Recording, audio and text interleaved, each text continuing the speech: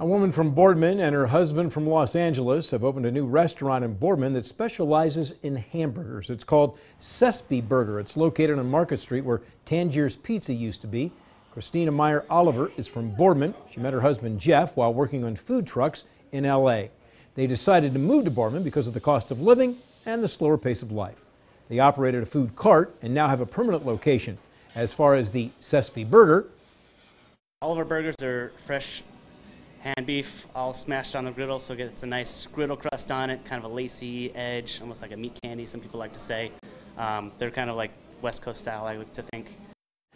The Sespe menu also has chicken sandwiches, BLTs, pastrami, and a variety of fries. It's open 10 to 4 Monday through Friday, 8 to 2 on Saturday, closed on Sunday.